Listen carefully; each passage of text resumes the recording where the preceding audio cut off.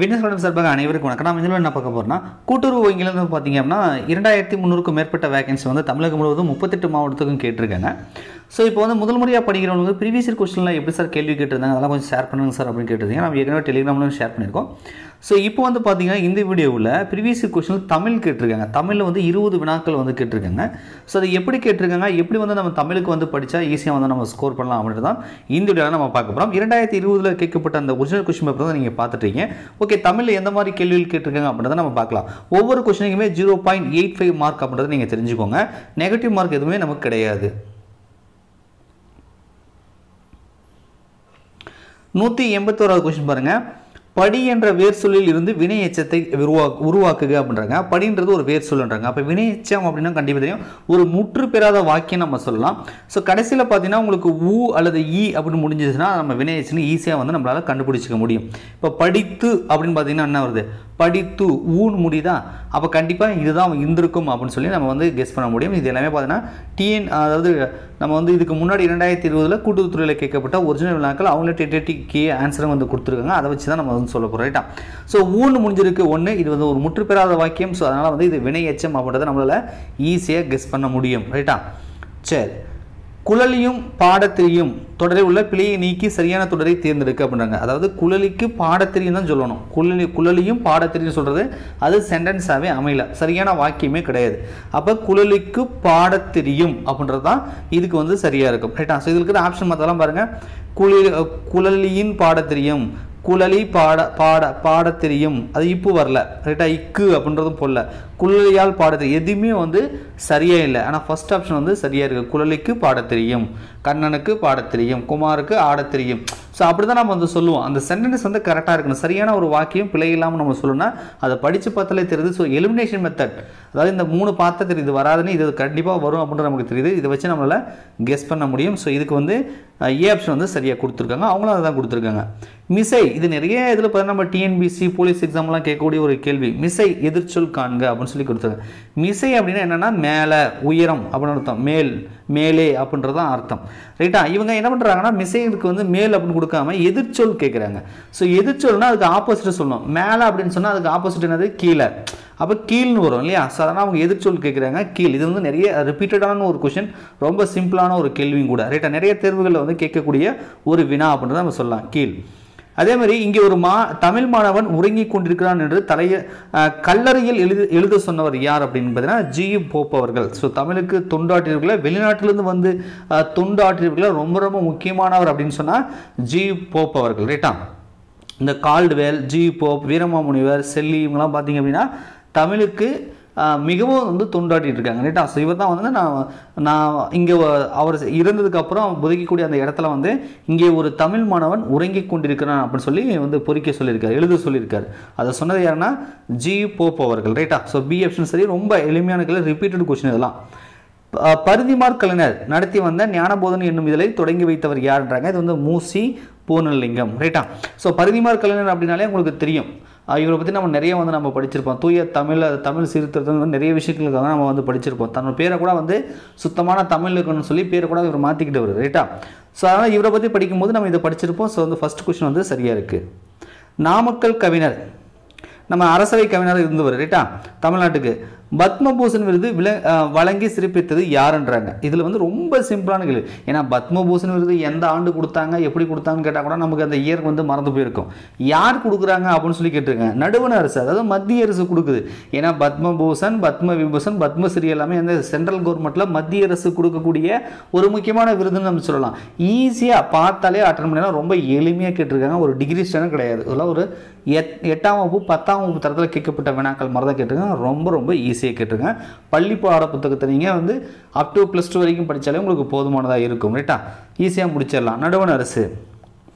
சுந்தரம் பிள்ளை மனோரமணியம் சுந்தர பிள்ளை ரைட்டா போற்று முகமாக தமிழக அரசு நிறுவியதுன்றாங்க மனோரமணிய சுந்தரனார் பல்கலைக்கழகம் அப்படின்றது நீங்கள் கேள்விப்பட்டிருப்பீங்க ரைட்டா நம்ம பெரியார் பல்கலைக்கழகம் இது திருவள்ளூர் ப பல்கலைக்கழகம் இருக்குது ஸோ அதேமாதிரி நமக்கு வந்து மனோரமணியம் பல்கலைக்கழகமும் இருக்குது ரைட்டா ஸோ அப்போ அவருடைய போற்று விதமாக பல்கலைக்கழகம் தான் வந்து என்ன பண்ணியிருக்காங்க? மணியம் மணியம் சுந்தரனார் பல் பல்கலைக்கழகம் திருநெல்வேலி சைடில் அந்த பக்கத்தில் வந்து கொடுத்துருக்க உருவாக்கியிருக்காங்க ரைட்டா ஸோ அவரை போற்றும் விதமாக தமிழக அரசு பண்ணியிருக்கிறது பல்கலைக்கழகம் அவர் பேரில் நிறுவியிருக்காங்க. பல்கலைக்கழகம் அப்படின்றது தான் இதுக்கு வந்து சரி. சிலப்பதிகாரத்தின் தொடர்ச்சியாக கருதப்படக்கூடிய நூல் எது? ரொம்ப ரொம்ப சிம்பிளான கேள்வி. இதெல்லாம் சப்ஜெக்டுக்குள்ளவே அவங்க போகவே இல்லை.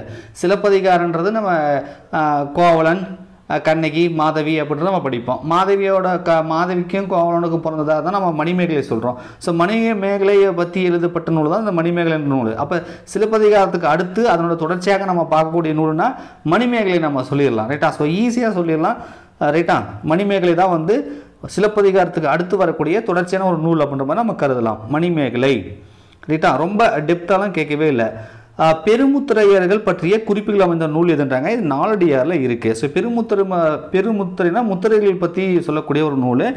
இந்த இது வந்து ஒரு அரச மரபு. ரைட்டா? இந்த அரச மரபை பற்றி சொல்லியிருக்கிறது வந்து நாலடியாரில் தான் சொல்லியிருக்காங்க. ஸோ முத்திரை அந்த அரசர்கள் பற்றி சொன்னது நாலடியார் தான். ரைட்டா? நாலடியார் அந்த நூல் தான் அதிகமாக வந்து இடம்பெற்றிருக்கு. ஸோ நாலடியார்ன்றது ஈஸியாக நம்மளால் சொல்ல முடியும். ரைட்டா? வேய்ப்புரை தோல் என்ற உவமை தொடருக்கு பொருள் தருகின்றாங்க. மூங்கில் போன்ற தோல்னு சொல்லலாம். மூங்கிலுக்கு இன்னொரு பேர் என்ன தெரியுமா? வேய் அப்படின்னு சொல்லுவாங்க. நீங்கள் வேணால் நெட்டில் தேடி பாருங்கள் இல்லை ஸ்கூல் புக் கூட எங்கேயாவது படிச்சிருப்பீங்க. மூங்கிலுக்கு வேறு பெயர் வேய். மூங்கில்னால் மூங்கில்னா வேறு பெயர் வேய்ன்னு சொல்லுவாங்க. மூங்கில்ன்றது ஒரு புல் வகையை சார்ந்தது அப்படின்றத நம்ம சொல் சொல்லுவோம். அப்போ இந்த வேய் அப்படின்றத வச்சு ஒரு குழு கொடுத்துருக்காங்க. நம்மளை கண்டுபிடிக்கிறதுக்கு என்ன பண்ணியிருக்காங்க ஒரு குழு கொடுத்துருக்காங்க. அதை வச்சு நம்ம மூங்கில்ன்றதை நம்ம ஈஸியாக கண்டுபிடிச்சிடலாம். ஸோ மூங்கில் போன்ற தோல் அப்படின்றது தான் இதுக்கு வந்து சரி.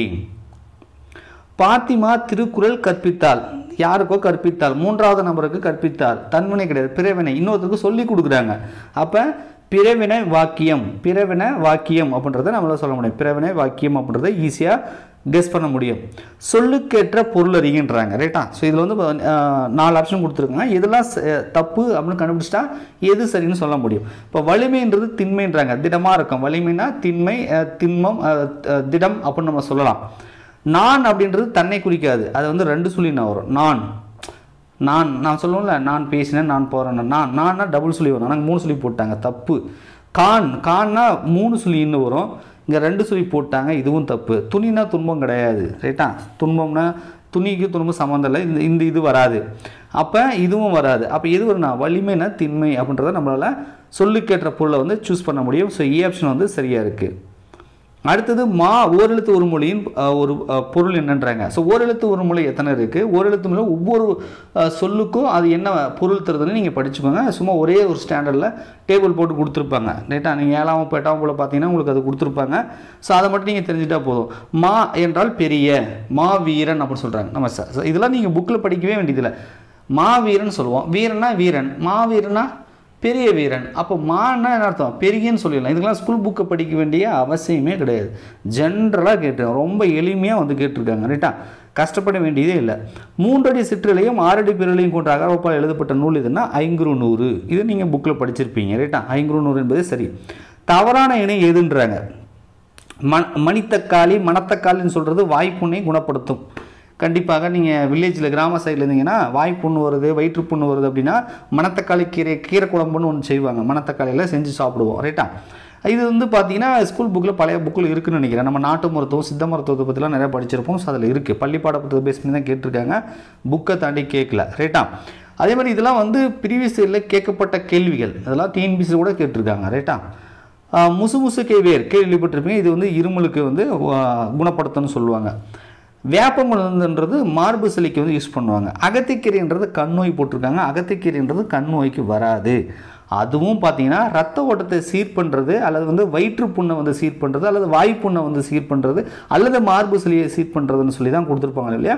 அகத்திக்கீரைக்கும் கண் நோய்க்கும் சம்மந்தமே கிடையாது. அகத்தக்கீரையை சாப்பிட்டா ரத்தம் ஓட்டம் சீரடியும் வயிற்று புண்ணு வாய் புண்ணு உணவு செரிமான மண்டலங்கள்லாம் சீரடையும். இதுதான் வந்து அதுக்கான குணப்படுத்தக்கூடிய முக்கியமான ஒரு இதுன்னு சொல்லலாம். கண் நோய் கிடையாது. அப்போ தவறான இணைன்றது நம்ம சி அப்படின்றத நம்மளால் சொல்ல முடியும். ரைட்டா? இன்றைய மொழியில் வல்லுநர்கள் பேணி பின்பற்றத்தக்க வழிமுறைகளை தொல்காப்பி கூறுகின்றது சொன்னது யாருன்னா எமினோ எமினோ அவர்கள் சொல்லியிருப்பாங்க. இதை படிச்சிருப்பீங்க. ரைட்டா? தமிழகத்தின் வேர்ட்ஸ்வர்த் ரொம்ப சிம்பிளான கேள்வி ரிப்பீட்டடான கேள்வி டைரெக்டான ஒரு கொஷின் சொல்லலாம். வாணிதாசன் அவர்களை தான் தமிழகத்தின் வேர்ட்ஸ்வர்த் அப்படின்னு சொல்லி நம்ம சொல்லுவோம் ரைட்டா ஸோ இவர் நிறைய குழந்தைகளுக்கான பாடல்கள்லாம் பாடியிருப்பார். அதனால் வந்து நம்ம இவரை தமிழகத்தின் வேர்ட்ஸ்வர்த் அப்படின்ற மாதிரி நம்ம சொல்லுவோம். வாணிதாசன் எழுத்து இதழனை தொடங்கி நவீன தமிழ் இலக்கிய மறுமலர்ச்சிக்கு வித்திட்டவர் யார் அப்படின்னா சிசு செல்லப்பா அவர்கள். ரைட்டா அந்த இதழ் அப்படி இந்த இதில் பார்த்தோன்னே உங்களுக்கு வந்து ஈஸியாக வந்து கண்டுபிடிச்சிடலாம். ரைட்டா அதுக்கப்புறம் நவீன தமிழ் இலக்கிய மறுமலர்ச்சி வித்துட்டுன்றதெல்லாம் தேவையில்லை. எழுத்து இதழனை தொடங்கி அந்த எழுத்து இந்த பத்திரிகை யார் உருவாக்கினா யார் ஆசிரியர் அப்படின்றத கெஸ் பண்ணாலே உங்களால் வந்து ஈஸியாக சொல்ல முடியும். ரைட்டா ஸோ மற்றவங்களும் சம்மத்தில் இது கூட எலிமினேஷன் மெத்தட் மூலிமா கூட அடிச்சிருக்கலாம். ஏன்னா மூமேத்தா பிச்சமூர்த்தி சிற்பிக்கு இதுக்கு சம்மந்தமே கிடையாது. செல்லப்பான்றதை ஈஸியாக சொல்லலாம். தமிழே மிகவும் பண்பட்ட மொழி என்று பாராட்டியவர் யாருன்னா மார்க்ஸ் முல்லர் அவர்கள். ரைட்டா மார்க்ஸ் முல்லர் அவர்கள். அகரவரிசைப்படுத்துங்க ரொம்ப ரொம்ப ஈஸியான ஒரு கேள்வி. இது பாருங்க. நமக்கு மீ மீ வருமா ஃபஸ்ட் வராது. மா மா மீ மீ. அப்படி தானே வரணும். மீ வராது. இதை பார்த்தாலே சொல்லிடலாம். அடுத்து மூவும் வராது. இப்போ சிஆர்டிஎன் தான் வரும். இங்கே மருங்கை இங்கேயும் மருங்கைன்னு போட்டிருக்காங்க. ஸோ மாக்கு அப்புறம் மா மா மீ மீ மூ மூ. அப்போ மீ தான் ஃபஸ்ட்டு வரும். மீ தானே வரும். மீ மீ மூ மூ. அப்படி வரும். அப்போ மூ இது வராது. இது வராது. அப்போ இதுன்னு சொல்லி சொல்லிடலாம். ரைட்டா ஸோ வந்து அகரபுரசிப்படுத்துக ரொம்ப ரொம்ப ஈஸியான கேட்டிருக்கேன். ரைட்டா ஸோ ஓரெழுத்து மொழி அகரவீசப்படுத்துதல் பேசிக்கான ஒரு இலக்கணம் பள்ளி பாட புத்தகம் கொஞ்சம் லைட்டாக டச் பண்ணி நீங்கள் படிச்சிங்கனாலே உங்களால் இந்த தமிழில் முழுமையான மதிப்பெண்கள் வந்து எடுக்க முடியும். ரொம்ப டெப்த்தாக போய் கேட்குறதுல மேலோட்டமாக தான் கேட்டிருக்காங்க. ஸோ சிலபஸ் என்ன சொல்லியிருக்காங்கன்னு பாருங்கள் சிலபஸ் பள்ளி பாட புத்தகம் எங்கே கவர் ஆகுது நோட் பண்ணி வச்சுட்டு நீங்கள் படிச்சிங்கன்னா ஈஸியாக ஒரு முழுமையான மதிப்பெண் எடுத்து வந்து நம்ம தேர்ச்சி பெறலாம். இது வந்து கட் ஆஃபுக்கு எடுத்துக்கிறாங்கன்றதான் உங்கள் நீங்கள் பார்த்துக்கணும். ஸோ அதனால் நம்ம ஜென்ரல் ஸ்டடீஸ்லையோ அல்லது வந்து மெயின் பேப்பர்லையோ கொஞ்சம் நம்ம வீக்காக இருந்தாலும் கூட அதில் கொஞ்சம் எடுக்க முடியல கூட இந்த மாதிரி ஈஸியான பகுதியில் நம்ம முழுமையான ஸ்கோர் பண்ணால் தான் நம்மளால் வந்து கட் ஆஃப் இன்க்ரீஸ் பண்ணி நம்ம வந்து செலக்ட் பண்ண முடியும். ஸோ தமிழுக்கு வந்து இம்பார்ட்டன்ட் கொடுத்து படிங்க. தொடர்ச்சியாக அடுத்தது நம்ம வந்து கூட்டுறவுத்துறை பேங்க் இந்த எக்ஸாமுக்கு பயனுள்ள வகையில் நம்ம வந்து வீடியோக்களில் வந்து நம்ம கொடுக்க போகிறோம் ஸோ நம்ம சேனல் எதிர்க்க சப்ஸ்கிரைப் பண்ணாமல் இருக்கீங்கன்னா மறக்காமல் சப்ஸ்கிரைப் பண்ணி கொடுங்க பெல் பட்டனில் ஆல்னு செட் பண்ணி வச்சுக்கோங்க. அப்போ தான் நான் வீடியோ போட்டேன்னா உங்களுக்கு நோட்டிஃபிகேஷன் வரும். ப்ரீவியஸ் இயர் கொஸ்டின் ஏற்கனவே நம்ம டெலிகிராம் சேனலில் ஷேர் பண்ணிக்கிறேன் டவுன்லோட் பண்ணிக்கோங்க. அல்லது வந்து நாளை நாளைக்கு நம்ம வெப்சைட்டில் வந்து அப்டேட் பண்ணிடுவோம். ஸோ ரைட் அதுக்கான ப்ராசஸ் போயிட்டுருக்கு. ஸோ நம்ம வினஸ் கிளாஸ் அகாடமி வெப்சைட்டில் கூட நீங்கள் வந்து என்ன பண்ணலாம்? டவுன்லோட் பண்ணிக்கலாம். ஸோ இந்த வீடியோவை நாளைக்கு கிளிக் பண்ணி டிஸ்கிரிப்ஷனில் வெப்சைட்டுக்கான லிங்க் இருக்கான்னு செக் பண்ணுங்கள் ஸோ வெப்சைட்டுக்கான லிங்க் கொடுத்துருப்பேன். அந்த லிங்க் மூலிமா நீங்கள் டச் பண்ணி ப்ரீவியஸ் இயர் கொஷின் கலெக்ஷன் நிறையா நமக்கு கிடைத்த ப்ரீவியஸ் கொஷின் எல்லாமே கொடுத்துருக்கேன். அதை டவுன்லோட் பண்ணி வச்சுக்கோங்க. ப்ரீவியஸ் இயரில் எப்படி கேட்டிருக்காங்க எந்த மாதிரி பகுதியிலேருந்து வினாக்கள் வந்திருக்குன்றதை அனலைஸ் பண்ணிட்டு படிச்சீங்கன்னா உங்களுக்கு ரொம்ப இன்னும் யூஸ்ஃபுல்லாக இருக்கும். நிறைய பேர் கமெண்ட்ஸில் சார் ப்ரீவியஸ் இயர் கொஷின் தான் கொடுங்க சார் ப்ரீவியஸ் இயர் கொஷின் தான் கொடுங்க சார்ன்றீங்க. எனக்கு கிடைத்த அளவுக்கு வந்து நான் டவுன்லோட் பண்ணி டெலிகிராமில் ஷேர் பண்ணிட்டேன்.